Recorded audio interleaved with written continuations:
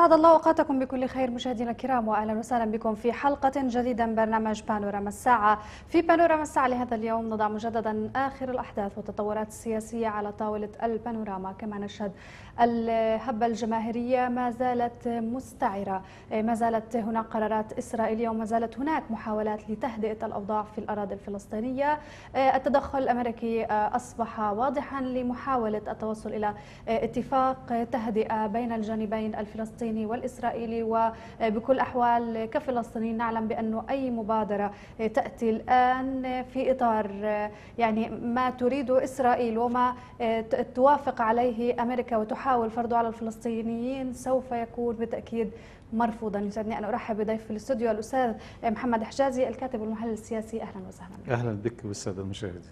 يعني بداية دعنا نتحدث عن مبادرة كيري الآن محاولات كيري للتوصل إلى اتفاق تهدئة بين الفلسطينيين وإسرائيل. هناك حراك مكوكي يهدف إلى محاولة يعني إخماد هذه النار التي اشتعلت لكن هذا الحراك لم يأتي بجديد.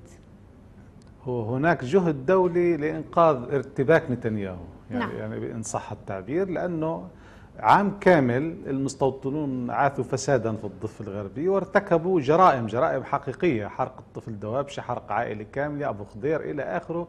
من هذه الجرائم التي ارتكبت تحت نظر حكومة نتنياهو ونتنياهو تحت نظر العالم يعني كله إضافة إلى الانتهاكات اليومية في المسجد الأقصى وفي مدينة القدس. عام كامل شهد الفلسطينيون الكثير من المتغيرات التي حدثت في بنية المستوطنين الذي بدأوا فعلا يخططون لهجمات متكررة على الفلسطينيين في الضفة الغربي لم يتحرك العالم ولم يأتي كيري. بينما عندما يعني قال الفلسطينيون لا لإسرائيل في حول التقسيم الزماني والمكاني في مدينة القدس وانتهاكات المستوطنين وخرجوا إلى الشوارع شبان للانتفاضة أو للهب أو نسميها ما شئنا. ارتبك نتنياهو ارتبكت حكومة الاحتلال لأنه سيجد نفسه أمام يعني نشاط جماهيري غير مسلح. وهذا نقطة القوة الرئيسية لدى الفلسطينيين ومن خلال هذه القوة يستطيع تحقيق إنجازات كثيرة. الفلسطينيين إذا ما أتقنوا هذا هذا العمل الانتفاضي غير المسلح. يجب أن يكون دائما غير مسلح حتى تكون قاعدة الجماهير واسعة جدا. نعم. نتنياهو بالتأكيد كان مرتبكا حكومته مرتبكة وتصريحات سمعنا كثيرا.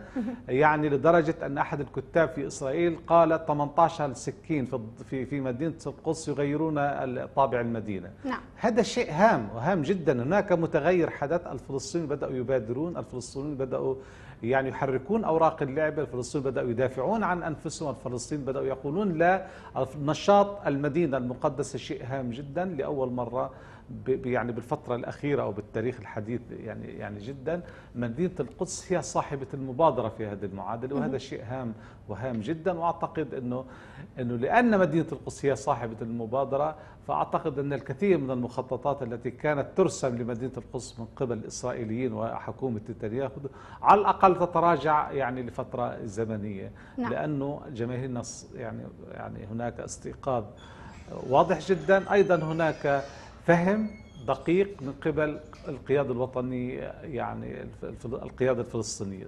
بالتأكيد هناك بعض القضايا التي يجب الانتباه لديها. السلطة الفلسطينية لم تشكل عائقا أمام خروج الشبان الفلسطينيين وهذا شيء هام جدا. نعم. هذا الشيء يجب أن ندقق به. السلطة ليست عائق أمام حركة الشباب.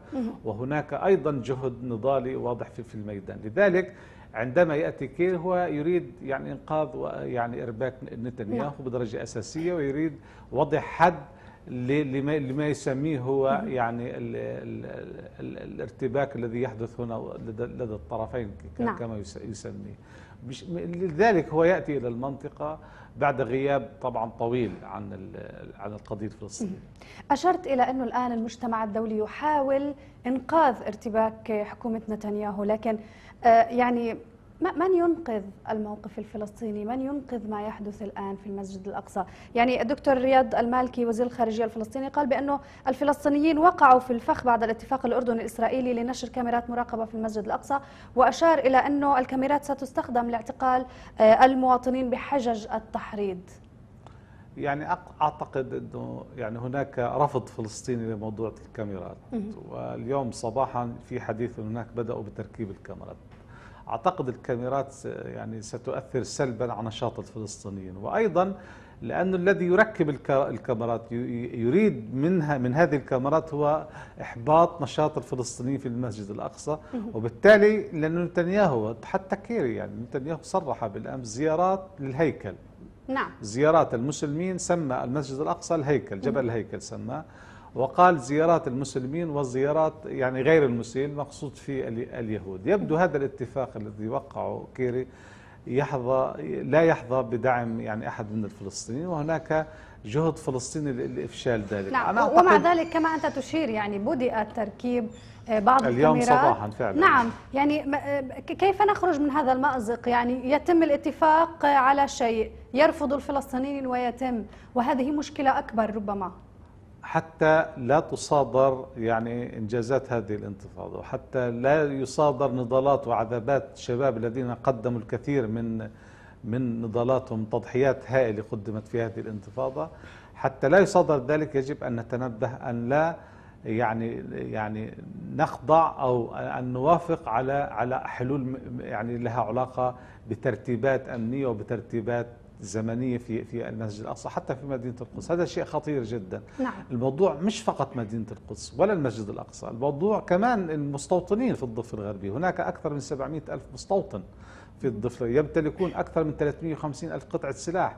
هذا هو الأساس في الضفة الغربية. هناك مشروع فعلا مشروع تحضر له حكومه نتنياهو ويحضره اليمين المطرف الفلسطيني هو نكبة ثاني للفلسطينيين إحداث نكبة ثانية في فلسطين في الضفة الغربية. هو يريد إحداث الترانسفير. اليوم يتحدث عن إخراج مناطق من دائرة القدس ولضمها بالسلطة الفلسطينية. يريد إفراغ المدينة يعني المقدسة من من يعني من من من سكانها الأصليين نعم. حتى يسهل يسهل عليه الاستفراد يعني بها، هناك مخططات مشبوهة فعلا الان يحضرها الاحتلال. تحت ذرائع انه يريد أن يتخلص من الكثافة السكانية في مدينة القدس لصالح السلطة الوطنية الفلسطينية لا نحن نريد مدينة القدس بالكامل نعم. والمشكلة الرئيسية مش فقط فقط بالقدس كما يتحدث كيري أو نتنياهو أو عبر الاتفاق الذي يجري مع الأردن لا المشكلة الأساسية أنه هناك 700 ألف مستوطن يريدون استكمال مشروع النكبة يريدون إحداث نعم. transfer في الضفة الغربية باتجاه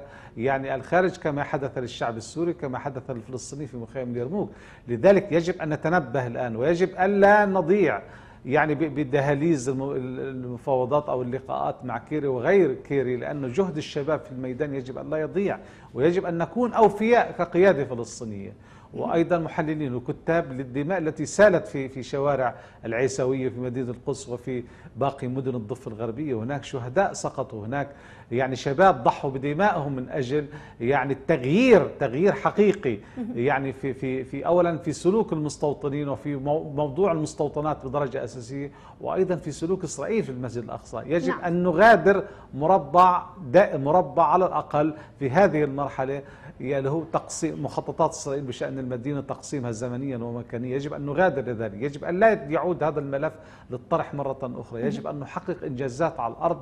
نقطف إنجازات. وإذا لم تحقق بهذه الفترة فلتستمر الانتفاضة. الانتفاضة الأولى يعني 40 يوم كانت بين أخذ وعطاء واشتعلت بعد ال 40 يوم. نحن الآن شهر يعني بهذا العمل الانتفاضي نعم. بغض النظر صحيح أنه لم يعني يتحرك جموع جماهير واسعة جدا يعني نستطيع أن نقول كل المدن الفلسطينية تتحرك نعم. ولكن أعتقد أن بذور الانتفاضة موجودة وإمكانيات استساع هذه الانتفاضة يعني يعني موجودة وهناك إنجازات على الأرض تحققت حتى هذه اللحظة، لذلك يجب أن نحرص على الا تضيع دماء هؤلاء الشهداء يعني بالمجان، يجب أن نكون حذرين جدا من أي اتفاق بخصوص المدينة المقدسة أو أو أي شيء آخر يجب أن أنه هذا العمل الانتفاضي الذي يحدث الآن في الضفة الغربية من شأن أن يحرك الملف الفلسطيني من شأن, من شأن أن يعيد الاعتبار للقضية الفلسطينية لدى الشعوب العربية ولدى العالم. كيري يأتي إلى المنطقة بفعل الذين ضحوا في الميدان من نعم. شبابنا لأنه نتذكر خطاب يعني أوباما في في الأمم المتحدة لم يذكر القضية الوطنية الفلسطينية لم يذكر أي شيء على القضية صحيح. الفلسطينية. وبالتالي هناك غياب للقضية في في في في أروقة حتى المنظمة الدولية أو أوروبا أو حتى يعني أمريكا في تراجع حتى عند العرب العرب نعرف جميعا ماذا يحدث في في المنطقة صحيح. العربية نعم. وبالتالي هناك تراجع الذي يحدث الآن في في العيسوية وفي كل مكان في الضفة الغربية هو إعادة الاعتبار ووضع القضية الفلسطينية على سلم أولياء أولويات العالم لذلك نعم. يجب أن نحافظ على الجهد النضالي العنفي الغير مسلح الذي يمارس في الميدان في الضفة الغربية وفي مدينة القدس الآن بعض المحللين يقولون بأنه ما يحدث الآن هو محاولة التوصل إلى وعد بلفور جديد برعاية أمريكية وبمباركة عربية هل هل تعتبر هذه الجملة دقيقة؟ يعني أعتقد اولا أنه لا العرب ولا غير العرب بيستطيع إنه يعني يتآمر على على جهد الشباب المناضلين يعني في هذه الميادين، نعم. الشباب هم الذين يحددون سقف مطالب السلطة الوطنية وسقف مطالب وهناك أهداف لهذه الانتفاضة. يجب أن تتحقق هذه الأهداف، لا نريد أن نخسر دم على الأرض بدون أن نحقق نتائج سياسية، بالتأكيد سنجلس غدا وسنتفق ولكن يجب أن نتفق على إنجازات يجب أن نحقق إنجازات إذا فشلنا في هذه المرة نعم. وفش و و وذهبت دماء الشباب يعني هباء سنخسر الكثير سنخسر سمعتنا كفلسطينيين وستخسر القيادة الوطنية الفلسطينية وسيخسر شعبنا ومنظمة التحرير وكل الفصائل ستخسر لأن هذه الدماء الدماء التي سالت في مدينة القدس يجب أن لا نخسرها يجب أن, أن نراكم إنجازات وأن نضع فعلا موقفنا السياسي يتناسب مع ما يجري في الميدان نعم. يتناسب مع هذه النضالات الكبيرة اللي حققتها شبابنا وشاباتنا يعني في الضفة الغربية وفي مدينة القدس وهذا شيء هام. وفي غزة أيضا وفي غزة أيضا هناك نشاط يعني انتفاضي غير مسلح خرج من غزة واخترق الحدود للتضامن مع مدينة القدس ومع الضفة الغربية.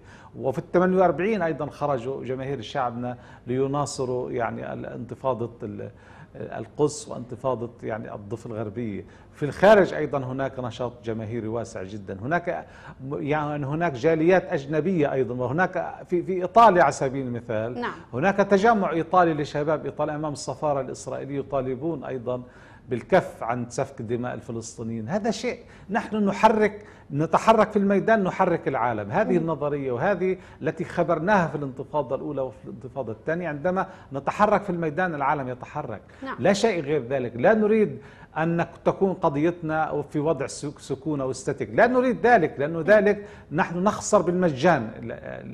ولكن عندما نتحرك في الميدان نواجه المستوطنين نواجه الاحتلال في مدينة القم نواجه كل هذه الجرائم بصدورنا العالي مع موقف سياسي صلب للسلطة الوطنية الفلسطينية ولمنظمة التحرير الفلسطينية. نعم. هذا شيء فعلا ينقلنا من مرحلة إلى مرحلة. يجب أن لا نرجع إلى الوراء بأي شكل من الأشكال. جريمة ترتكب إذا رجعنا إلى الوراء. يجب أن لا نرجع إلى الوراء. يجب أن نتقدم. يجب أن نغير الوضع القائم في مدينة القدس. نحن نريد تغييره نحن الذين يجب أن نفرض على الاحتلال أن يمنع مستوطنين لزيارة المسجد الأقصى وتدين يجب أن نمنع الاحتلال من الاستيطان في مدينة القدس ومن من هدم المنازل ومن اعتقال الناس ومن تهجير الناس ومخططاته في مدينة القدس. يجب نحن أن نمنع ذلك لأنه نعم. نحن نمتلك الآن زمام المبادرة وهناك شباب في الميدان مستعدون للتضحية كما ضحى شعبنا طيلة عشرات السنين يعني الماضية. نعم. يعني آه، في أكثر من لقاء له نتنياهو قال بأنه نحن ملتزمون بعدم تغيير الوضع القائم في المسجد الأقصى. هذه الجملة رحب بها كيري كثيرا رحبت بها أيضا المملكة الأردنية هاشمية وتحدث عنها بان كيمون يعني هل هل ما نحتاجه الآن كحل هو الحفاظ على عدم تغيير الوضع القائم في المسجد الأقصى؟ اولا السؤال أي وضع قائم؟ نعم وضع قائم قبل شهر ولا قبل شهرين ولا في ال 67 صحيح. هذا السؤال يعني يعني مهم استخدم يعني بعتقد في مرة عندما كان في إسرائيل الأمين العام للأمم المتحدة بان كيمون استخدم تعبير يعني الوضع التاريخي بمعنى نعم. إنه في ال 67 الوضع القديم لمدينة القدس ولكن بعد ذلك صار يستخدم عبارة الوضع القائم هذا شيء كمان نحن لا نقبل به مم. الوضع القائم قبل شهر من الانتفاضة هكذا يريد نتنياهو نعم. هكذا يريد أن الوضع القائم ينسحب الفلسطينيين وتبدأ الزيارات المستوطنين والشخصيات الرسمية الإسرائيلية للمسجد الأقصى وبالتالي تقسيم زمان ومكان. هذا الذي يريد نتنياهو عندما يتحدث. هذا هروب بالمناسبة هذا هروب تكتيكي من نتنياهو للخروج من يستخدم هذه العبارة. بعض الفلسطينيين استهوتهم هذه العبارة ولكن الرجوع إلى الوضع القائم يجب أن نقول الرجوع إلى إلى إلى إلى التاريخ 67 نريد. هذه المدينة بالكامل أن تكون فلسطينية، نريد إلغاء كل الإجراءات الإسرائيلية في في مدينة القدس، نريد ان أن نعيد الاعتبار للجانب الوطني لهذه المدينة وأن لا يشعر الفلسطيني في هذه المدينة أنه مهدد بأي لحظة بالترحيل أو بمصادرة الأرض أو بهدم منزل أو بإغلاق محله التجاري، لذلك يجب فعلا أن نكون منتبهين لأي شيء يحدث، الآن كيري يستخدم هذه العبارة والعرب أيضا يستخدمون هذه العبارة ولكن نعم. يجب أن نحذر، وأنا أعتقد أن القيادة الفلسطينية منتبهة لهذه المسألة، هناك تصريحات تشير عن الوضع القائم أي وضع قائم. لا نريد وضع قائم وضع المدينة المقدسة التاريخي نعم. الذي يعني ب 67 هذه المدينة احتلت في 67 نريد يعني إعادة الاعتبار ونريد العودة إلى هذا الوضع يعني التاريخي للمدينة المقدسة. نعم. أنا أعتقد أنه أنه نحن إذا إذا استطعنا أن أن ننظم نفسنا في الميدان وأن يعني نعطيها زخم أكثر هذه الانتفاضة التي تحدث في الضفة الغربي مدينة القدس.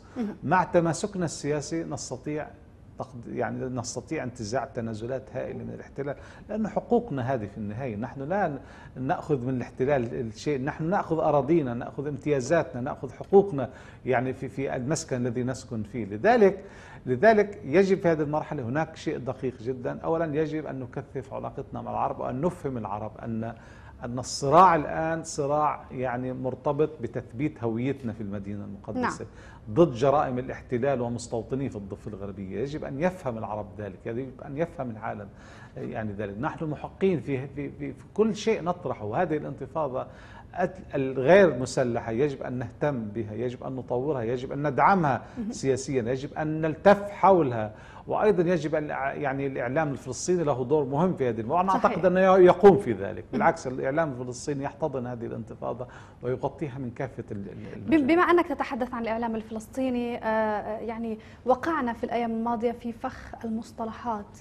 هذه المصطلحات التي آه، لم نكن نحن أصحاب آه، على الخلل فيها لكن هي آه، ربما ترجمات الإسرائيلية كلمات بعض الأشخاص وتصريحات مثل جون كيري وبان كي مون وما يتم ترجمته عن الرواية الإسرائيلية وهذه أصبحت تشكل يعني موضوع يجب الانتباه إليه هل نحن الآن بحاجة لتحديد مصطلحاتنا والعودة إلى المصطلحات التاريخية؟ يعني أعتقد انه هناك مشكلة رافقت بداية هذه الانتفاضة أن معظم الأخبار للأسف الشديد كانت تتلقاها مواقعنا الإلكترونية وبعض وكالاتنا الأنباء من الطرف الإسرائيلي عندما يقول طعن وبعد يومين يتضح أنها عملية إعدام وليس نعم. طعن. نحن وقعنا في هذه المشاكل وهذه المشاكل نحن نقطة ضعف لدينا. دائما نقع في إشكاليات دائما يعني نغطي الجانب الإعلام ليس ببعده الإنساني. ننشد إلى الجانب السياسي ونقع بأخطاء كثير العالم لا يسمعك عندما تتحدث إنساني و... سياسي ولكن عندما تتحدث بالطابع الإنساني أن هذا الشهيد لديه قصة ولديه أسرة ولديه حياة كان يجب أن يعيشها ولديه أرض يجب أن يعيش عليها ولديه منزل يجب أن يعيش. في عندما تتحدث هذه باللغة اللغة إلى الإعلام العالمي وحتى تستطيع اختراق المجتمع الإسرائيلي بهذه نعم. اللغة الإعلامية نحن للأسف الشديد لن نصل إلى هذا المستوى. للأسف الشديد هناك أنا يعني دعنا نتحدث بصراحة نعم. أن مؤسساتنا الإعلامية الحكومية تعاني ضعفا وضعفا يعني كبير جدا. وكالة الأنباء الرئيسية للسلطة الوطنية الفلسطينية يعني مشاكل التي تحدث يعني بها يعني الآن تقديم استقالات أنا أعتقد في مشكلة في مشكلة جوهرية. يجب أن نمتن وتكون موادنا الإعلامية شديدة الترابط وشديدة التماسك. نعم. نحن الآن هناك انتفاضة هناك مؤامرة على هذه الانتفاضة هناك جهد دولي لإحباط هذه الانتفاضة وأسرائيل تحاول المراوغة بهذه الانتفاضة. وإعلامنا الفلسطيني الرسمي منقسم على حاله. ويدخل في إشكاليات يعني يعني صغيرة جد جدا يعني في هذه المشهد ويشغل نفسه عن الحدث الأبرز الذي يجب أن يكون متماسكا في هذه المرحلة. يجب أن ننحي جانبا كل الإشكاليات الصغيرة التافهة التي يعني تحكم مسارنا اليومي ونفكر كيف نطور هذا الإعلام لخدمة هذه الانتفاضة، كيف نطور هذا الإعلام حتى حتى يعني يعني نثبت الرسالة الوطنية الإنسانية لكل يعني العالم، يجب أن تظهر الصورة الفلسطينية كما أظهرها العديد من وكالات الأنباء العالمية في فترات يعني, يعني متعددة. يجب أن نظهر البعد الإنساني الوطني لهذا النشاط الانتفاضي لهذه النكبة التي يتعرض لها يعني الفلسطينيون في مدينة القدس. يجب أيضا أن نظهر الطابع السياسي يعني لمدينة القدس وليس محاولة جرها إلى حرب دينية كما يريد نتنياهو. نتنياهو يسعى إلى تهويد دولة إسرائيل ويسعى إلى تدين الصراع الفلسطيني الإسرائيلي نعم. حتى يأخذ معه كل العالم المسيحي ضد المسلمين إذا هودوا لذلك يجب أن نكون منتبهين. لم يخرجوا الفلسطينيون المقدسيين بعبارات دينية لمواجهة الاحتلال. لا خرجوا بمشروع سياسي يريدون التحرر يريدون يعني قمع يعني إحباط كل محاولات يعني يعني الدخول إلى المسجد الأقصى. إلى اخره هذه هذه قضايا لها علاقة بحياة الإنسان وهي قضايا أساسية. وبالتالي نحن مشروعنا مشروع سياسي مشروع تحرر وطني وليس يعني كل هذه المحاولات الشباب في الميدان يعوها جيدا. وأنا أعتقد أن هناك ذكاء فعلا في ممارسة الفعل النضالي اليومي الآن في الضفة الغربية. نعم. ويجب أن نخشى على أنفسنا أن نقصر أو نضعف هذه الانتفاضة. يجب أن ندعمها بكافة الإشكاليات. نعم. يعني أحد أهم الأدوات التي يعني مؤخرا آه، نتابعها وأهم المناضلين هم آه، إخوتنا في أراضي 48 آه، دكتور أحمد الطبي كان له يعني فعاليات قوية خلال الأيام الماضية آخرها كان الأيام الماضية عفوا آخرها كان مؤتمر صحفي عقده لتفنيد ادعاءات نتنياهو بعدم تغيير الوضع القائم. وقال بأنه عمليا هناك هناك منع لدخول المصلين ما بين الساعة السابعة والساعة الحادية عشرة وأكد بأنه آه، آه، يوميا هناك اقتحامات لمستوطنين ووزراء ومسؤولين وقادة إسرائيليين وهذا نوع أيضا من أنواع المقاومة كيف نتوقع بأن يعني آه، تتحول الحالة في الداخل الفلسطيني؟ اولا يجب أن نظهر باستمرار أن نتنياهو كاذب ومخادع ومناور ومراوغ نعم. يعني وحتى العالم بالمناسبة في هناك تصريحات روسية وأوروبية يقولون عن نتنياهو أنه كاذب ومراوغ الذي حاول توريطنا في مذابح أو مذابح أو الهولوكوست يعني يعني في في, صحيح ألمانيا نعم. الذي حدث في ألمانيا بطريقة غبية وبطريقة تافهة عندما بدا هتلر الألمان ردوا عليه الخارجية الألمانية ردت عليه نعم. بشكل يعني يعني مباشر هذا هذا المجرم الذي يحاول فعلا تضليل الرأي العام العالمي باستمرار بخطابه يحاول تضليل والكذب والتزوير يجب دائما أن نطارده إعلاميا يجب نعم. أن نطارده إعلاميا ونكشف للعالم هذه اللغة المراوغة والكاذبة أنا أعتقد ما يقوم به يعني يعني جماهير شعبنا وأعضاء الكنيسة العرب يعني يعني, يعني في, في, في الكنيسة جهد يعني قوي جدا وجهد مهم جدا نحن في الإعلام الفلسطيني يجب أن نرتكز على هذه الرواية التي يقدمها يعني أعضاء الكنيسة العرب. وهذا شيء هام. ولا ننسى أن جماهير شعبنا في ال 48 انتفضت وخرجت بمسيرات ضخمة وحاشدة دعما لمدينة القدس ولما يحدث في الضفة الغربية. نعم.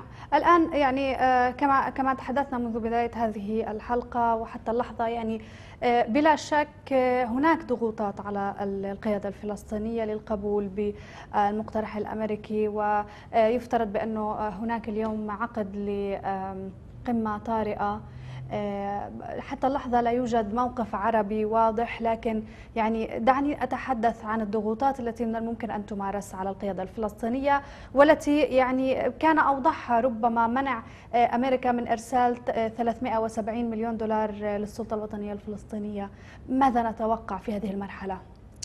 يعني أولا يجب أن نفهم أن أن هناك رأي عام عربي رسمي بالتهدئة. العرب لا يريدون لهذه الانتفاضة أن تستمر حتى لا تكشف عوراتهم. العرب لا يريدون لهذه الانتفاضة أن تستمر حتى لا يعاد التركيز على القضية الوطنية الفلسطينية. هناك حروب يخوضوها للأسف الشديد مذهبية وطائفية في المنطقة العربية وأشغلت العرب عن معاركهم الرئيسية مع مع مع إسرائيل. لذلك هذه هذه مشكلة. نعم. لذلك تجدين الكثير من الع... من من من قيادات ومن مسؤولي ورؤساء العالم العربي يريدون إنهاء الحالة القلقة يسمونها في في في في في, في فلسطين، لا يريدون انتفاضة ولا يريدون نشاط ولا يريدون شهداء ولا يريدون على الفلسطين أن يدافعوا عن نعم. أنفسهم، يريدون وعودنا يعني وعود طبعا وأثبت التاريخ أنها وعود غير مجدي أحيانا كثيرة ولكن رغم ذلك يجب أن نسعى إلى العرب ويجب أن نحاور العرب ويجب أن ندفع العرب لعقد قمة ونجلس معهم ونشكل لجان. هذا مجالنا يجب أن نخوضه وبالتأكيد هناك النتائج ستكون صغيرة جدا ولكن يجب باستمرار أن نحاول. يجب نعم. ان لا نغلق هذا الباب بغض النظر نحن محبطون من الحاله العربيه ومن حاله العالم ولكن يجب ان أن نستمر في حوارنا مع مع اشقائنا العرب.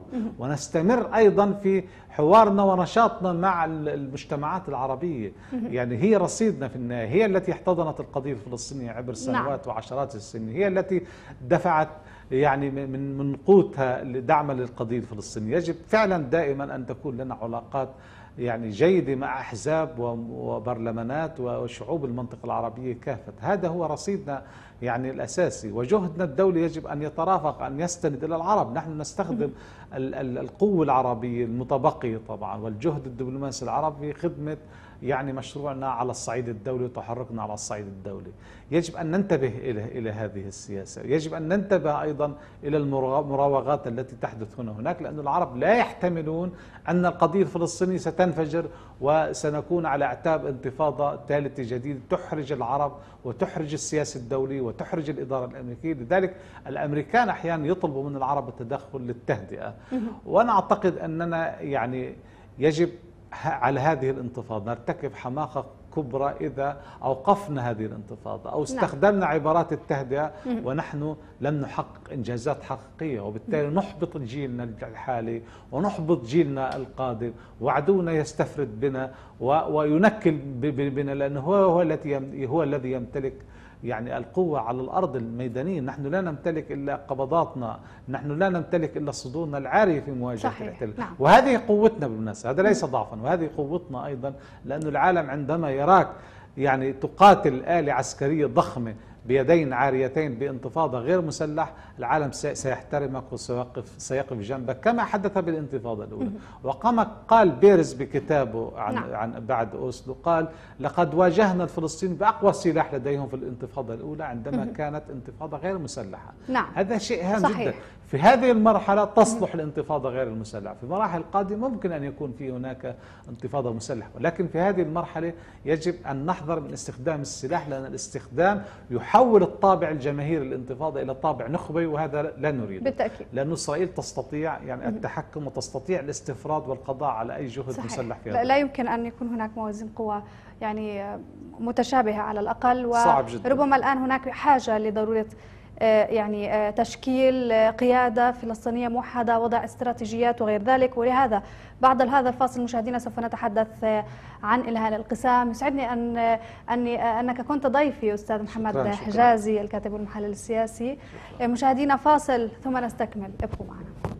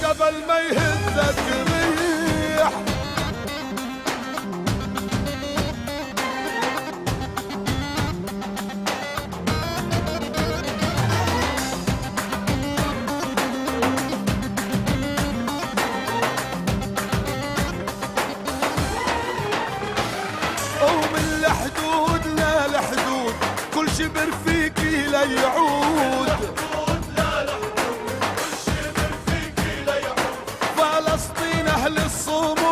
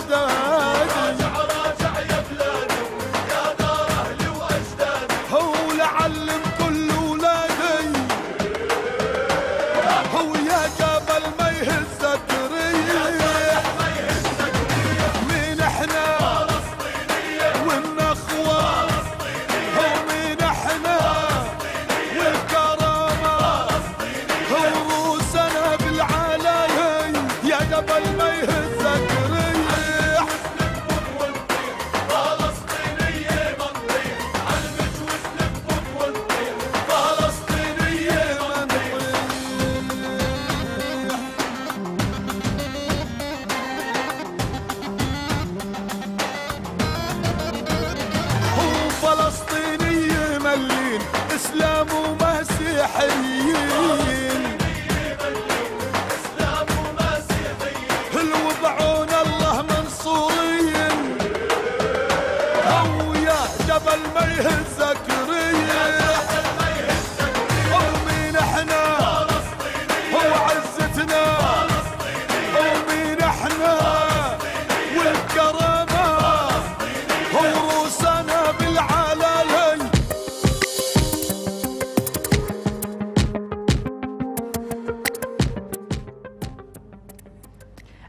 مجددا مشاهدينا الكرام كما تحدثت قبل هذا الفاصل الآن نحن بأمس الحاجة لأن نعود لوحدة الوطن وأن تكون لدينا كلمة واحدة ورؤية واحدة للمحافظة على ما وصلنا إليه من إنجازات والاستمرار في هذه الهبة الشعبية. كما هي مع عدم تضييع ما حققناه وما سوف نحققه من إنجازات. يسعدني أن أرحب بضيفي في الاستوديو الأستاذ محمد المقادمه منسق الحملة الشعبية لوحدة الوطن. أهلا وسهلا. أهلا بك واهلا بالساده المشاهدين جميعا. يعني أستاذ محمد بداية لو تحدثنا عن هذه الحملة أهدافها ومن الأشخاص الذين ينتمون إليها؟ آه، آه، اولا الحملة يعني واضح شو اهدافها أنها وحدة الوطن في بالتأكيد. ظل هالظرف واللي في كل ظرف كان موجود. ولكن واضح إنه في هذه المرحلة إحنا بأمس الحاجة لأنه نكون موحدين. أصلا لأنه الميدان واضح إنه كان سباق ووحد.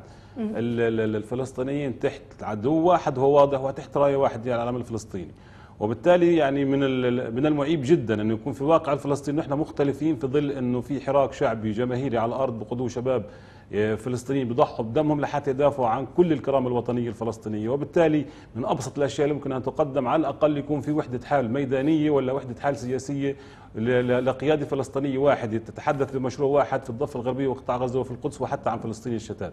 مضبوط في مظلات كبيرة زي منظمة التحرير والسلطة وإلى آخره ولكن واضح أن الخلاف معمق وعميق ولنا أكثر من ثمان سنوات في هذا الموضوع. الحملة أتت من هذا الشعور الداخلي يعني ال- المرير الممرض المعيب إنه إحنا في هذه في هذه المرحلة أبسط الأشياء اللي ممكن نقدمها لهذه الهبة الشعبية هو انتصار ببساطة ممكن نقدم انتصار بسيط إنه نتوحد وهذه نعم. أكبر ضرب أكبر ضرب للعدو الصهيوني في هذه المرحلة وضرب بصراحة ممكن تكون قاسمه إضافة للضربات اللي نجحوا الشباب فيها على الأرض ضربات بتوحيدنا وتوحيد الدم الفلسطيني وهذا بدمهم وعلى على على و- و- وبدموع اهاليهم وبدموع أمهاتهم وبهذا بهذا الحراك ال- يعني ال- المفرح الذي أكد على الفلسطينيين لا يمكن أن ينهزموا ولا يمكن أن يتراجعوا في ظل يعني إصرارهم على تحقيق غايتهم المهمه بانشاء دولتهم الفلسطينيه المستقله وعاصمتها القدس الشريف وكمان مرة عاصمتها القدس الشريف. صحيح. يعني آه، قبل آه، شهرين من الآن استبقتم كما أنت أشرت الأحداث وكان لكم آه، لقاء مع الرئيس محمود عباس. كيف جرى هذا اللقاء وماذا خرجتم منه؟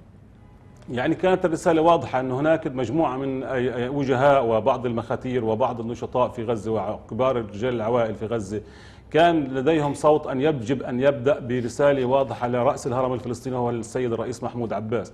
هو رأس الشرعية الفلسطينية ومن عنده تبدأ كل الحلول. مضبوط أن هناك معوقات ولكن كان يجب أن نبدأ من هناك. فكان هناك ترتيبات لذهاب مجموعة كبيرة ولكن نتيجة الظرف ال- ال- ال- ال- القاتل أيضا وفصل الضفة عن غزة. كان هناك إجراءات لتصاريح وإسرائيليين والى آخره نجح حوالي 13 آه، شخص من كبار ووجهاء ومخاتير عائلات أن يذهبوا إضافة إلى ثلاث آه، ثلاث سيدات من آه، المصلحات الاجتماعيات. وفعلا وصلوا لعند السيد الرئيس واستقبلهم استقبال يعني يشرح له الصدر وكانت يعني هذا الاستقبال مليء بالدموع. نحن نعم. جدا في غزة مشتاقين لسياده الرئيس محمود عباس بدنا نشوفه يعني. رئيسنا الرئيس الشرعي تبعنا بدنا نشوفه. إحنا مفصولين قصرا يعني في هذا الهم الكبير. وتحدثوا من القلب إلى القلب ومن الروح إلى الروح وكان يعني استقبال الرئيس لهم يعني بكل ك- كزعيم للشعب الفلسطيني. وحملهم رسالة أنه أنا جاهز للذهاب إلى حكومة وحدة وطنية بلغوا الإخوة في حماس وأنتم راجعين على غزة وجاهز لنروح لانتخابات يعني أنا بدي بدي حكومة وحدة وطنية نعملها مع بعض فتح حماس ونروح لأنه إحنا واصلين لانسداد أفق جميعا يعني. صحيح. وفعلا يعني وعقد فيما بعد لقاء السيد الرئيس عقدت هذه المجموعة البسيطة من غزة وهذا قديش ببين إنه قديش إحنا يعني مشتاقين لبعض إحنا في الضفة في غزة. بنشوفش بعض أكثر من 800 رجل من وجهاء ومن كبار ومن الناشطين من العائلات من الضفة الغربية من جنين لحتى الخليل. اجتمعوا في مكان مع هذا المجموع و- و- وزاروهم و- و- وتحدثوا مع بعض وكان في حالة حراك غريبة لأنه هذا بأكد على أنه هذا المطلب مطلب القواعد كلها مطلب الجمهور كله يكون موحدين. هذا أبسط أبسط الحقوق نتوحد أن يكون في عندنا وحدة وطن. يعني مكفي حدا يشدنا شمال وحدا يشدنا يمين في مشاريع لها علاقة مرة بفصل غزة ومرة بفصل الضفة ومرة بتقسيمات. هذا أبسط شيء هذا أنا بقول بنقدر عليه. كل الكلام اللي بنقال بنقدرش عليه مش مزبوط بنقدر عليه. ويجب أن نعيد بهالنفس. هذول الشباب اللي نزلوا على الميدان وبدمهم وحدونا إحنا لازم ببساطة شديده نكون معهم. أبسط ما يكون إنه إحنا كلياتنا نعلي صوتنا بشكل واضح لكل صناع القرار الفلسطينيين. ولكل النخب ولكل الكلام اللي بنحكى جميل ومرتب ومصفط عمليا مطلوب منا. كنا نضغط على القيادات في- في شقي الوطن. بدنا نتوحد يا عمي. إحنا الفلسطينيين أصحاب المصلحة الحقيقية. بدنا نشوف قيادة واحدة. بدنا نشوف مشروع نضالي واحد. بدنا نشوف مشروع سياسي واحد. وهذا مطلب بسيط يعني. صحيح. ويعني حملتم رسالة. الرئيس محمود عباس حملكم رسالة وأتيتم بها إلى السيد إسماعيل هنية. كان لقاءكم يوم أمس. بالضبط. حمل الجميع الرسالة. ووجهنا هذه الرسالة لل- لل- للإخوة ولمكتب الأخ إسماعيل هنية. وانتظرنا هذه الفترة. يعني واضح أنه كان فيها انشغالات كثيرة على أكثر من مستوى ودخول الحراك الجماهيري على مدار ال- ال- الأربع أسابيع. بلغونا باللقاء اللي تم امبارح وكان موجود فيه يعني آه، هذه النخبة التي ذهبت وم- ومجموعة من ال- ال- الإخوة الفلسطينيين المسيحيين في غزة. وحملنا نفس الرسالة وكانت كمان يعني آه، أكثر وضوحا وأضيف عليها. أنه إحنا يعني آه، أنا إحدى الأخوات حكت لل للأخ أبو العبد يعني أنا دمعت لما شفتها. قالت له إحنا يا عمي بدنا بدنا نتوحد. طنيب عليك بالبلد يعني. آه، أعتقد إنه إحنا في البيت الواحد صرنا مقسمين في الحارة الواحدة بنجوزش بعض. شو لوين؟ لوين آه. رايحين؟ رد أبو العبد هني كان رد إيجابي إنه قال أنا لن أخوض في التفاصيل لن أنزل لتفاصيل الأمور مزبوط كلام الأخ الرئيس أبو مازن إحنا محتاجين لحكومة وحدة وطنية. حكومة التكنوقراط مع التكنوقراط مع احترامي الشديد لها لن تستطيع أن تحمل هذا الحمل ال- الشديد. إحنا محتاجين لحكومة وحدة وطنية يكون عمادها فتح وحماس وبقية الفصائل الوطنيه الكل حكى له للأخ أبو العبد هنيه إحنا بدنا نتوحد تحت راية علم فلسطين وتحت شرعية منظمة التحرير قال هذا مزبوط ولكن يجب أن ندخلها. إحنا يعني كحماس شرعية منظمة بدنا تكون فيها. نعم. ما أغرقناش في تفاصيل بقدر ما هو أسهب في إسناده للحملة وإنه يجب أن تتوسع الحملة وإنه خياره مع هذه الحملة وإنه يعني آه، التقط رسالة السيد الرئيس.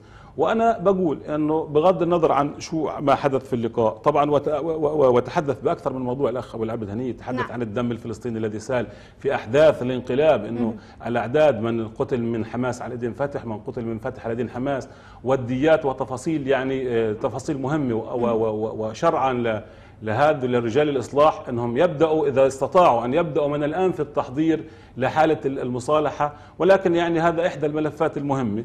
ولكن الملف الأهم انه كيف نبدأ في توحيد كلمتنا وكيف نبدأ في توحيد آه، برنامجنا النضالي وبرنامجنا السياسي. وهذا سوف واجب علينا. نعم. يعني آه، أشرت إلى نقطة مهمة وهي ضرورة انضمام كل من حركتي. فتح وعفوا حماس وإذا أردنا أن نتحدث بشمولية أكثر الجهاد الإسلامي. ويعني لم لم تبدو هناك ممانعة من قبل آه، آه، السيد إسماعيل هنية وخصوصا بأنه آه، خلال الأيام المقبلة ننتظر آه، أن يصل وفد منظمة التحرير الفلسطينية إلى هنا لاستكمال الحديث عن أمور المصالحة وكيفية آه، آه، يعني ال- ال- الانخراط ضمن آه، مؤسسات منظمة التحرير والمشاركة في اجتماع المجلس الوطني المنعقد آه، في آه، منتصف ديسمبر. يعني أنا بقول إنه ال- ال- ال- الحملة بلشت من بدري وأنا بديش يعني أظن محور الاشياء في الحملة، الحملة هي إجت نعم. من شعورنا الجمعي يعني صحيح. هي الحملة مفتوحة للجميع لأنه نعم. هذا مطلبنا كليتنا، أنا بفكر إنه السياسيين أخذوا أخذوا مرة واثنين وثلاثة فرص واقليميا تدخل أكثر من مكان واتفاق واثنين وثلاثة وأربعة، إحنا لحتى لا مش فاهمين شو مين مين اللي بعطل يعني بصراحة، أو يمكن فاهمين بس حتى لو فاهمين بدنا نشكل حالة ضغط، نعم. هذا المساحة مفتوحة للجمهور الفلسطيني كله، شرائح مجتمع مدني وشرائح الشباب والقوى التي بتعمل الأرض لأنه عمليا في شيء سبق الموضوع. اليوم لأول مرة إحنا فلسطينيين في الميدان في مواجهة الاحتلال وضحنا البوصلة وين إنه هذا العدو وهي ال- ال- الفلسطينيين متجمعين. نعم. هذه الحالة الفلسطينية ممتدة من عند الناصرة مرورا بالخليل برام الله بغزة بالبريج. إحنا آه، يعني شعب واحد وبالتالي إنه يجب أن يكون في ضغط إضافي لهذا الموضوع لحتى نقدم قوة دافعة لهذا الحراك ال- ال- ال- النضالي لهذه الانتفاضة. بكل مسمياتها أنها تأخذ زخم ويبدأ الانخراط فيها الجميع. في تحقيق أهدافنا الوطنية، هذه انتفاضة إن شاء الله بتنطلق لتحقيق أهدافنا، لها علاقة بأنه بدنا حماية دولية وبدنا دولة فلسطينية، كيف بدنا نوصل لهذا الموضوع؟ نعم. بدها زخم، بدها قوة دافعة، قوة دافعة أول أشياء اللي ممكن نقدمها يكون إحنا موحدين على برنامج نضالي، موحدين على برنامج سياسي. يستطيع الكبير والصغير والمرأة والأولاد أن يشارك في هذا في هذا الحراك. كلنا بدنا نشارك فيه كل واحد على ما يستطيع نعم. سواء كان في غزة في خ- في خصوصياتها ولا في أي مكان فيها ولا في الضفة الغربية ولا في القدس ولا حتى في الشتات ولا في فلسطين 48 يجب أن يوحدنا برنامج لأنه ندحر هذا المحتل الأمور يعني وصلت لمرحلة إحنا منسد كل افق وعندنا حالة إحباط ضخمة على مستوى الشارع الفلسطيني سبب أنا بقول ببساطة الاحتلال. وأضيف إلى الاحتلال بصراحه بصراحة وخدمة مجانية هذا الانقسام. هذا بضيف خدمة مجانية للاحتلال الانقسام. يعني نعم. ليش نعطيه خدمة مجانية؟ إحنا لازم نوجه له ضربة قاسية بالوحدة بالتوحيد. نعم. مما لمسته هل تعتقد بأن هناك فعلا قلق من أن ينهي هذا الانقسام أو يجهض هذه الهبة الشعبية التي انطلق بها الشبان الفلسطينيين؟ لا. ال- ال- ال- حالة الحراك أقوى من الانقسام وأقوى من المستفيدين منه وأقوى من هذا الفصل لأنهم وحدونا إجبارا. العلم الفلسطيني ال- ال- ال- الرمز رمز الهوية رمز الوطنية الفلسطينية رفرف في غزة ورفرف على حدود ال- ال- ال- ال- ال- السياج الفاصل بين أرضنا ورفرف في رام الله ورفرف في القدس. وحدنا إجبارا. لا يستطيع أحد يقول إنه إحنا مش متوحدين. آه. عمليا هو أنا بحكي إنه إحنا نخذلهم إذا ظلينا متفرقين.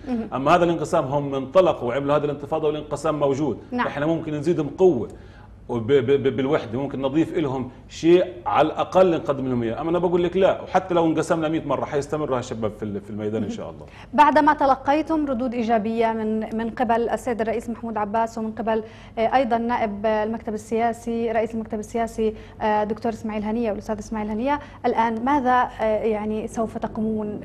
ما هي الخطوة التا- التالية؟ آه، كيف سوف تتحركون؟ هل هناك فعاليات؟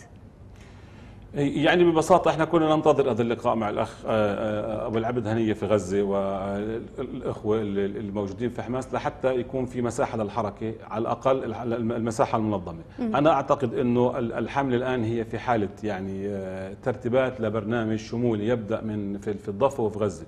وأنا أشير ان الحمله ليست فقط في غزة. هناك في نعم. رئيس للحمله الأخ جمال الجواريش في الضفة الغربية وهناك في مجموعة من الحراكات والشباب معه.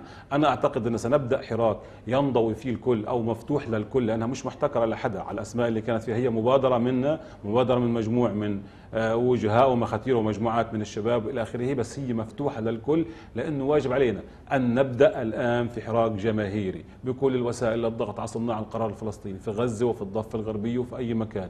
إنه نبدأ بتوجيه يعني بعض الحركات والمؤتمرات وورش العمل وكل ما يلزم حتى لو بنقعد في الشقوق في الجوامع وين ما اجى بدنا نبدأ حراك في هذا الموضوع أنه يكفي للانقسام. كفى. نعم. لحد الهان وبس. إحنا يعني أكثر من هيك لسنا مش قادرين نكمل ببساطة. نعم. يعني بما أنك تحدثت كثيرا عن هذا الحراك الشبابي كي نحافظ عليه كما هو بالطريقة اللي التي انطلق منها بدافع شباب يعني غيورين على الوطن غيورين على نساء الوطن وعلى عائلاتهم وعلى أرض الوطن. وهم من كانوا شعلة الانطلاقة الأولى لهذه الهبة. كيف نضمن استمرارية هذه الهبة الجماهيرية يعني بالحفاظ على شكلها ووصولا لتحقيق إنجازات سياسية فلسطينية. أنا أعتقد المطلوب هو برنامج نضالي فلسطيني وموحد وموحد وأهداف نضالية فلسطينية واحدة. يجب أن تكون اهدافنا واضحه كليتنا كفلسطينيين. ما فيش أهداف مجزأة في الضفة ولا أهداف مجزأة في غزة. مش كل حدا بده يستفيد بالانتفاضة بالشكل اللي بده إياه من القوى السياسية. يجب أن يكون هذا الحراك يخدم القضية الوطنية الفلسطينية واهدافها بدولة فلسطينية مستقلة. على حدود الرابع من حزيران 67 وعاصمتها القدس أنا أعتقد أن هذا الهدف المهم لكل فلسطين أو على الأقل يجمعهم. مطلوب منا برنامج من كل القوى ومن كل الفعاليات الشعبية والجماهيرية وحتى الشبابية بتوحيد البرنامج النضالي. برنامج نضالي يجمعنا كلنا كفلسطينيين وأن يحدد لهذا البرنامج يعني مجموعة من خطوات العمل موحدة وأن يكون في قرار فلسطيني وع- وعلى الأقل القوى الوطنية الفلسطينية والقوى السياسية الفلسطينية أيضا متفقة بالحد الأدنى على هذا البرنامج. نعم. هذا ببساطة شديدة أنهم يتوحدوا خلف هذا الحراك المهم هذا الحراك الذي يعني أنعشنا هذا الحراك الذي اعادنا أعاد لنا الحياة من جديد. يجب أن تتوحد كل القوى السياسيه في برنامج وراء نعم. هذا الحراك لحتى تدفع ت- تدفعه ب- وتوفر له البيئة الحاضنة لهذا لهذا النظام وتوفر له ال- ال- الحماية المطلوبة على المستوى الشعبي وعلى المستوى السياسي. هذا كلها أشياء مطلوبة. نعم يعني كي نحقق ال- الوحدة وفعلا نصل إلى مرحلة أن نتوحد نحن بحاجة لتقديم تنازلات مما لمستموه من خلال لقاءاتكم. هل لمستم آه، الإمكانية آه، والقناعة بضرورة تقديم تنازلات وصولا إلى الوحدة الوطنية الفلسطينية؟ و- يعني إحنا في الحمله اول مرة بنقعد في هذا السياق. ما بديش أقول اني خبير في الموضوع. إحنا اللي لمسناه امبارح بشكل عاطفي. ابو نعم. العبد إنه كان في تأثر عالي وحسينا الكلام منه ومنه كان كلام عاطفي وما فيش له علاقة في التفاصيل. و... وبصراحة إحنا لمسنا إنه هو يعني يعني محتاج وجدي وجدي جدا الأخ أبو العبد. وانبسطنا في اللقاء مش بس احترامه والتعاطي لأنه حكى في تفاصيل يعني كثيرة. وهو كمان أكد وطالب على برنامج نضال الوطني نعم. وأكد على إنه نتوحد تحت منظمة التحرير وطالب الأخ الرئيس بإنه يدعو إلى اجتماع ال- ال- ال- ال- ال- قيادة منظمة التحرير بما فيها حماس والجهاد الإسلامي الإطار المؤقت اللي نعم. اللي, اللي, اللي, اللي تحدث عنه. وتحدث يعني بأكثر من تفصيل شعرنا إنه هو مهتم هو شعر بالهم انه مزبوط كنا مهمومين وإحنا ما رضينا نتحدث معه في تفاصيل. مرهقة إن لا قلنا كهرب ولا قلنا مية ولا قلنا حصار ولا قلنا بطاله ما كل هذا الحكي ما حيكونوش. هو فاهمه يعني أكيد نعم. إنه فاهمه. بس إحنا قلنا إحنا خابطين في الحيط يعني. بصراحة يعني إحنا كلنا إحنا وإنت وكل ال- البلد. بدنا نخرج من هالأز... فإحنا شعرنا بصراحة آه شعرنا بوجه جديد شعرنا بإنه مزيدا من الضغط مزيدا من ال ال ال الانضمام. قوة مهمة. مجتمعية وشبابية ونسائية وأي فعالية ومهمة وطنية أنا بفكر أنها بتساعد منيح يعني كل ما ضغطنا أكثر كل ما كان في إنجاز أسرع وأكثر وأنا أعتقد أنه التفاصيل اللي هم بتفاهموا عليها مش عيب إنه حدا يتنازل للثاني يعني. في في ظل قضيه في ظل القضية الوطنية. مش عيب حدا يتنازل فصائليا لحدا طالما إنه في المصلحة الوطنية الفلسطينية. يعني وين المشكلة؟ ما حدا ضل محتكر إنه يعني كل الأشياء بده إياها بالشكل اللي تخدم تنظيمه ولا فصيله السياسي. إحنا بنحكي اليوم على قضية وطنية وبنحكي عن صراع صار مفتوح مع الاحتلال الإسرائيلي. نعم. أنا بفكر إنه قديش بيكون في زيادة في الضغط الضغط المنظم طبعا مش الضغط ال- ال- ال- والضغط الهادئ والضغط المدروس لأنه إحنا يعني مش جايين لحتى يعني نعمل أشياء تكسر عظم حدا ولا إلى آخره. أشياء منظمة هادية تضغطهم بأنه لا مجال لكل القوى الوطنية في فلسطين إلا أن نتوحد. وهذا طبعا أنا بوجه منها نداء جديد للفصائل الفلسطينية بقياداتها بعناصرها بشبابها بستاتها بنسائها إنه يجب أن نبدأ كلنا نفكر اليوم في ظل هذا المعركة المفتوحة مع الإسرائيليين إنه يعني نحط برنامج الوحدة على على على أجندتنا اليومية. كل حدا بفصيل داخل فصيله المفروض يطالب في الوحدة. صحيح. ابن فتح لازم يطالب قيادة فتح بالوحدة. وابن حماس لازم يطالب قيادة حماس بالوحدة. وابن الجهاد الإسلامي لازم يطالب بدور أكبر وهذا كمان مهم. لازم يكون في دور أكبر للجهاد الإسلامي وللجبهه الشعبية للديمقراطية لأنها فصائل هي بتأثر على الجهتين ولها وجود. لازم تمارس دور أكثر قوة. يعني أنا بقول لك بصراحة بكفي إنه إحنا يعني هالكلام المدروس والدبلوماسي والسياسي ومسكي العصاية بالنص بطل في مجال. حتى على المستوى الشعبي وعلى المستوى يعني على الناس الوسط بطل في مجال. نعم. يعني إذا هم أنا عارف إنهم شايفينه عندهم أفراد شوفوا قديش حجم التعب وال- والمعاناة. تعب شديد يعني.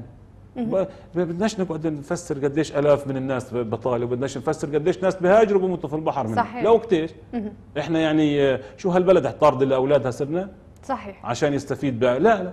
بصراحة هذا مطلوب. قوة ومطلوب من مؤسسات المجتمع المدني ومطلوب من القوى الشبابية. أنها توضع برنامج الوحدة على على أجندتها. نعم. بغض النظر أنه في حملة ولا فيش حملة. الحملة صحيح. هو شكل إعلاء صوت ويعني زي ما بقولوا يعني يعني أنه حطينا هالجرس أنه هذه المرحلة آه، يجب أن نبدأ. يجب نعم. أن الكل يبدأ في الموضوع. هلا الحملة مفتوحة للجميع؟ أهلا وسهلا؟ الآن بدنا- الآن هناك دور كبير ملقى على عاتق الإعلام الفلسطيني لتوجيه رسائل داخلية وأيضا رسائل للمجتمعات العربية ومجتمعات العالم كافة. يعني ما المطلوب الآن من الإعلام الفلسطيني؟ وهذا الدور مهم وهذا سؤال مهم وأنا بأكد على هذا السؤال انه الإعلاميين الفلسطينيين دورهم مهم. يجب أن يشطبوا من قاموسهم ومن مخهم كل لغة الفصل والانفصال. يجب نعم. أن يشيلوا من من كل تخاطباتهم لغة الغز والضف يجب أن يبدأوا بسياق إعلامي موحد يتحدث عنا كفلسطينيين. نعم. ويجب أن يتوحدوا أيضا في في في لغة واحدة وأيضا لغة ضاغطة. دورهم مه... الدور الأكبر هو للإعلاميين الفلسطينيين. إنهم يمارسوا أيضا مع هذه الحمله دور مهم في توجيه البوصلة نحو الوحدة. نعم. أنا يعني هذا أنا أشكرك على هذا السؤال. وإحنا يعني من من امبارح أو أول امبارح إحنا بنقول واضح إنه إذا ساعدنا الإعلام في هذه الحملة ساعدنا منيح وتوحد معنا بلغة واحدة سيكون له التأثير الأكبر لأنه اليوم الإعلام هو قوة مهمة وقوة هائلة. ويجب أن يكون عند الإعلاميين أيضا يعني هذا الإحساس الكبير بنفس وهم طبعا حساسين في هذا الموضوع بس يجب أن يكون في مضاعفة الجهد في موضوع الوحدة. باللغة الإعلامية ب- ب- حتى في كل اخبارهم يجب أن يركزوا دائما إيش صار في موضوع الوحدة؟ شو صار في موضوع المصالحة؟ بشكل دائم يعني مش سؤال يغيب عنهم مطلقا صحيح وأنا يعني في نفس هذا السؤال أنا بقول لوقت ليش يكون لصالح مين يكون عندنا نظام قضائي في غزه ونظام قضائي في الضفة؟ لصالح مين يكون في عندنا نظام شرطة في غزه وشرطة في الضفة؟ لصالح مين؟ قضايا كثير هائلة، مين بيخدم؟ بيخدم مين يا عمي في هذا في هذه المرحلة؟ صحيح ويعني في النهاية قضايانا آه، واحدة همومنا واحدة. ويجب أن آه، يكون لدينا قناعة بأنه آه، الآن آن الأوان للتوصل للوحدة الوطنية الفلسطينية طي صفحة الانقسام واستغلال هذه الهبة الشعبية لأقصى درجة ممكن حتى نتمكن من الحصول على الإنجازات الوطنية التي نستحقها فعلا كشعب فلسطيني مناضل. أشكرك جزيلا الأستاذ محمد المقادم منسق الحملة الشعبية لوحدة الوطن. كنت معي. شكرا لك وشكرا لك. مشاهدينا الكرام إلى هنا نكون قد وصلنا إلى ختام هذه الحلقة من برنامج بانوراما الساعة. نلقاكم في حلقة جديدة يوم غد. في أمان الله.